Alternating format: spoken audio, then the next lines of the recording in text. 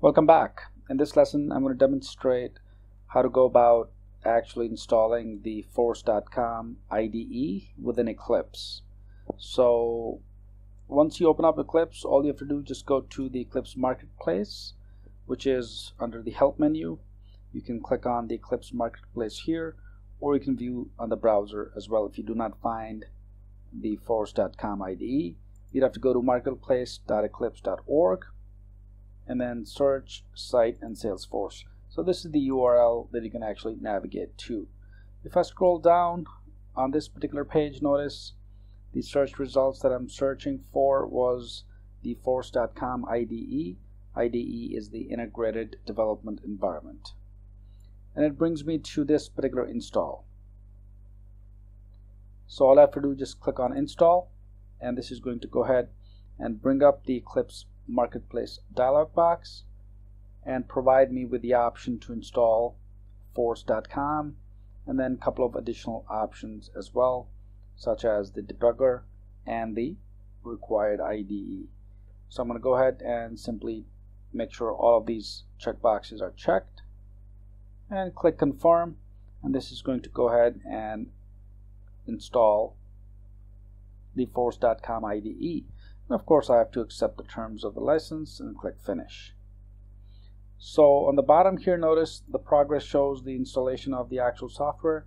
And once it's installed, I should be able to connect to my Salesforce account and bring over all of the objects, right? So I can now use Eclipse as my main developer tool, right?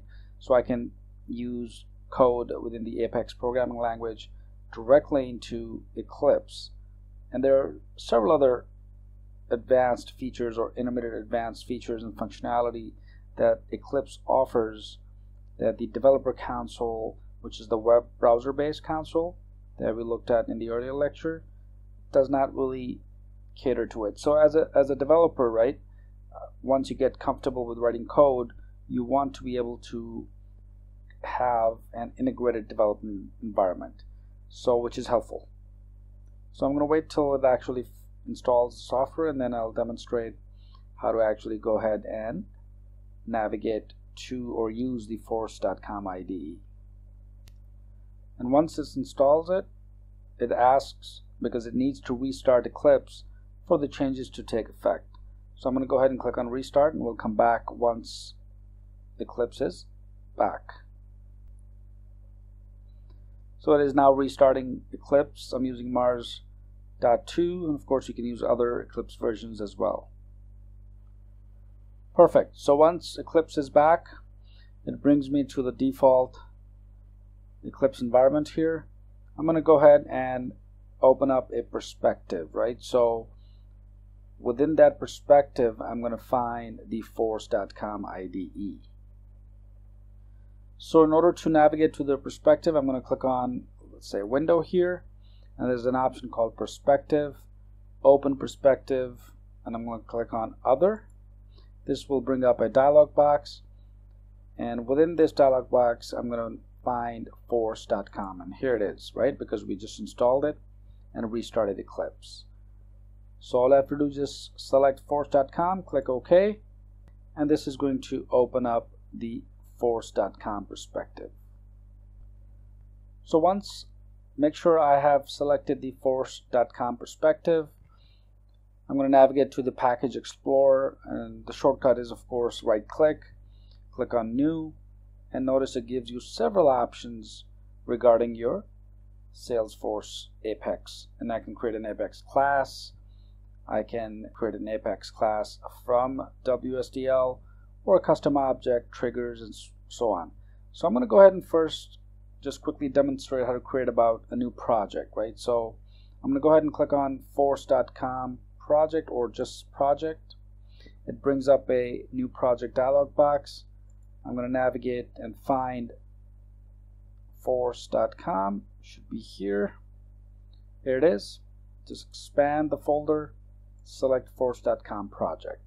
And notice I have several other folders, right? Because I have all these perspectives because I teach Hibernate, I teach Java, and so on. So JBoss tools.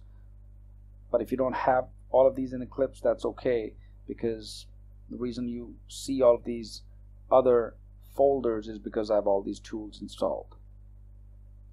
So here I'm going to make sure force.com project is selected, click next, and it asks for a name. I'm going to call it Claydesk. I'm going to call it e-learning. The username is the actual username for your Salesforce. So I'm going to go ahead and just type the username here. And then, of course, the password. We're going to leave the security token blank. The environment is production or developer edition. We are using the developer edition, which is fine. Let me move this up so you can actually see. Perfect. So we give it a project name, username, password, and of course you have the option to do production developer or sandbox, pre-release or others. So we're going to keep it as production, which is the default option here. So simply click next. It's going to go ahead and fetch all the package and all the objects.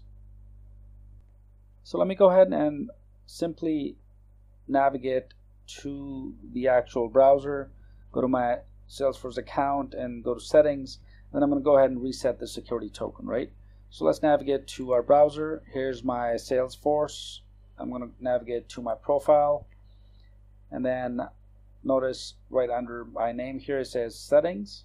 And that's where I have to go and then find the personal settings to reset the token. So right under personal information it says reset my security token. So I'm going to go ahead and click on reset my security token here. And then simply click on this button and this is going to send a new security token to the email address for your account. So of course I can fetch that from this particular email address to my Outlook and then insert that into Eclipse and see what happens. Alright, so I have the security token here and what I've done is pasted it from my email to Notepad. So I'm just going to copy it at this point, navigate back to Eclipse, click on Abort for now, and then enter the security token. And then let's try to click Next and see what happens. And hopefully at this point it should authenticate and then provide me with the next set of screens. And it's going to fetch all the packages and objects and place them directly onto my package explorer. But at this point the next screen after successful authentication it says choose metadata components from your organization to include in this project. So I can choose Apex and Visualforce like classes triggers pages or I can select other metadata components as well so of course I like to integrate all of the Apex and Visual Force triggers pages etc so click finish and here is going to actually fetch everything from and save to force.com components from my online to actual Eclipse IDE. And you will notice that within the left side package explorer I have Claydesk e-learning because this is the project that we just created in force.com. And a word of caution, make sure you're still in the force.com perspective, right?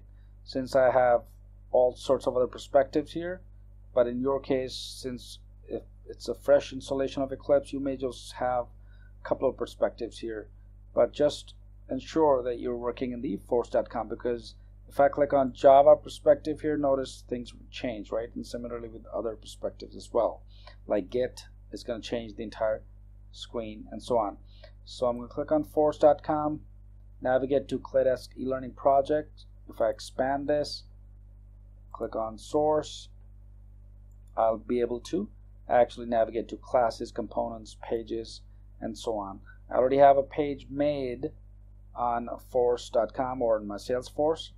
So you'll notice if I double click on this claydesk.page, it's going to open up that page for me and show me what I've done so far. So now at this point I can currently use the Eclipse IDE and then create Apex classes and basically do all the programming directly in Eclipse IDE.